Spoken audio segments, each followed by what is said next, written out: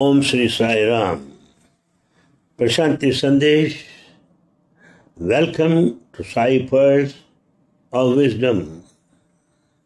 Usually, what happens in society is to react, particularly when blamed or accused or hurt. It's very difficult to accept such moments with a smile. Throughout the life of Bhagavan, we have noticed that he is highly tolerant towards his critics. We know how some of the newspapers and some critics came forward with all critical remarks, which are most undeserving and which are false utterly. Yet Swami did not react, nor did he allow anybody to react. This kind of tolerance is a feature of Bhagavan since his childhood. It seems some of vicious boys threw thorn balls at Satya's thick hair, and Satya would run away to avoid them. The studentship at Bukkapatnam was rather trying on young Satya hardly. And it was after all 14 years at that time. He had to finish preparing breakfast and lunch for himself and his grandfather at Puttaparthi in the early hours of the morning. He had to have the routine breakfast, a porridge like mixture, and broken rice, or cold rice and curds as an alternative. A few older boys also were jealous of the new special student at the school. They would rag him. They would even manhandle him in the sands every now and then and douse him with waters of the Chitravathi, spoiling his clean clothes. He was never ruffled. He would tolerate the ragging in a sportive spirit and with a smile, bearing no ill will. And very strange enough, not merely reacting to the deeds of his classmates, instead, he helped them. In spite of such behavior from his classmates, Satya continued tutoring a few students in the evening for a token fee in the home of Bhima Rao, the priest at the Rama temple. This is what it is. Forgive and forget is the main teaching of Bhagavan, which he practiced right from his childhood. He also come to know how devoted Bhagavan was as a child. He always stood for devotion, discipline, and duty. When he was in Bukkapatnam, there are certain instances are recorded. There is a temple of goddess Chaudamma in Bukkapatnam. Satya would go there in the afternoon to have his lunch in solitude. Since good drinking water was available nearby, it is a favorite hunt. After lunch, Satya would be lost in thought. In the quiet sanctity of the temple, gazing at a small picture of Sai Baba of Shirdi, which he always carried with him.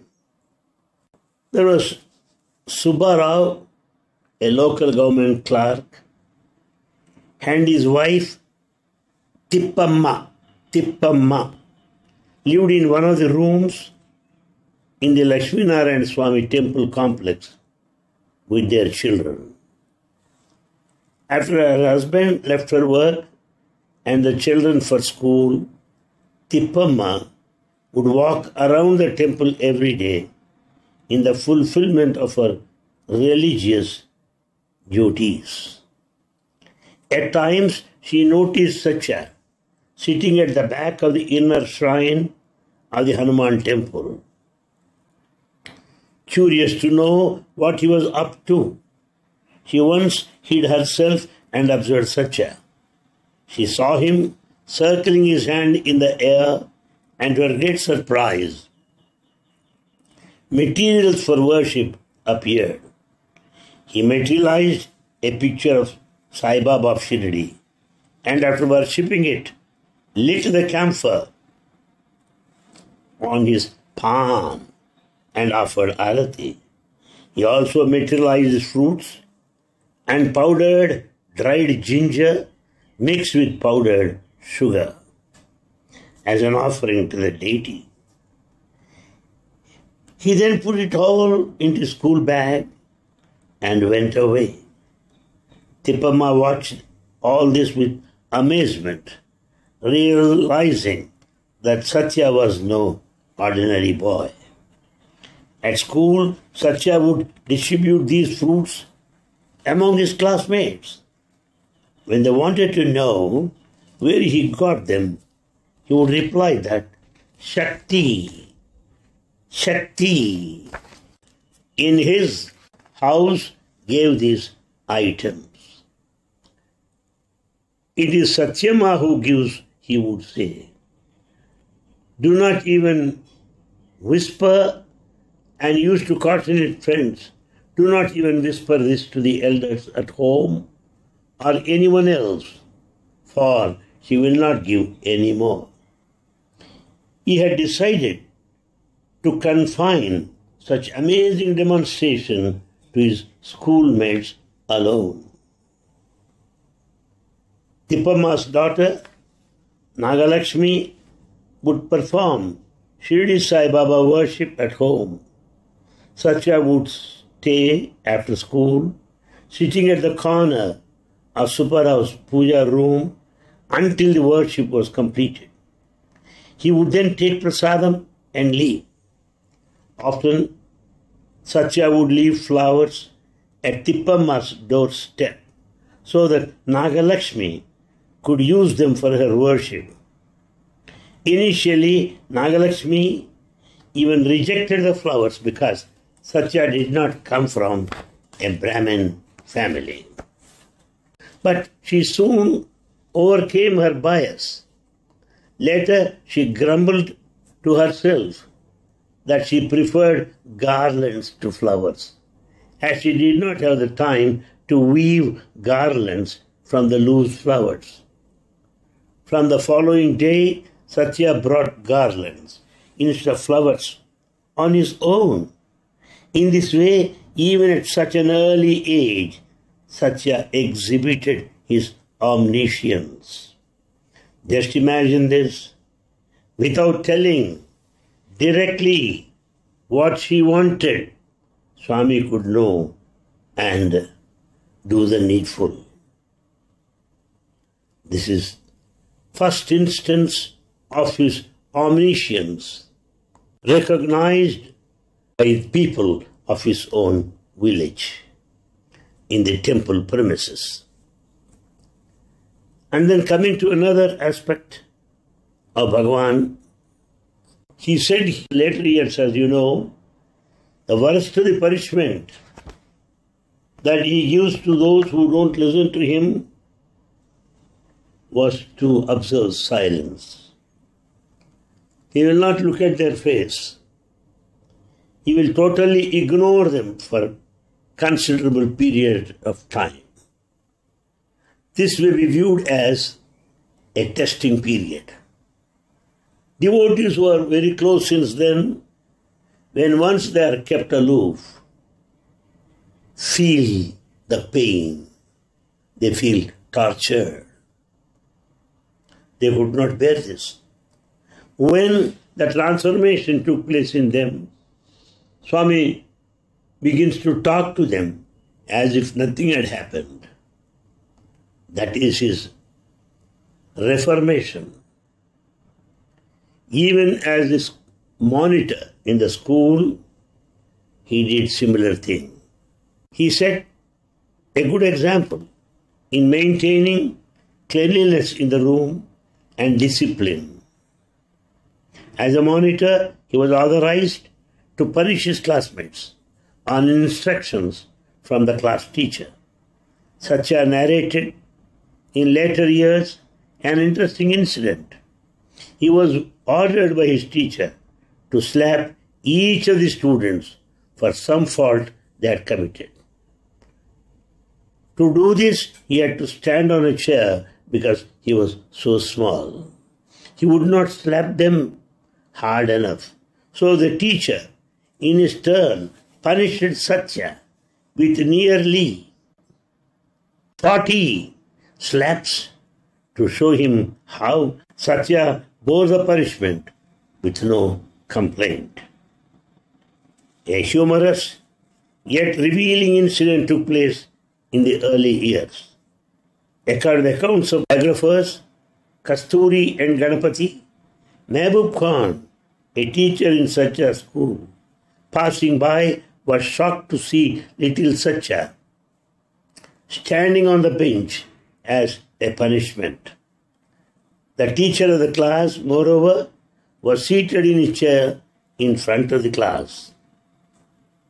Mehboob Khan asked the teacher why he was sitting there well past the period. The other teacher whispered that when he got up, the chair rose with him. The chair was stuck to him. He knew not how. Mehboob Khan knew instantly the problem and suggested to the teacher to end Satya's punishment. When Satya was asked to step down, the chair fell off and the teacher could move about freely. Years later, while relating the story, Baba would say that he had willed it to be so, not out of anger against the teacher, but purely to demonstrate himself and gradually prepare the minds of people for the announcement of his identity. Most perhaps this is another miracle known to everybody, witnessed by all students and teachers in those days, in the early years when he was in Bukkapatnam. That's how Swami's divinity began to blossom year by year and came to be known by the public by and large, near and dear. That's how Avatar expresses himself. English teacher Subbannachari tried to punish Satya, probably for having given the impression that he had not been taking notes in the class. Subbannachari asked him to spread his palm. As the teacher raised the cane to strike Satya, he saw an image of Sai Baba of Shirdi in Satya's palm. What a wonderful miracle it is. More of such things, we'll certainly study them and enjoy the dignity.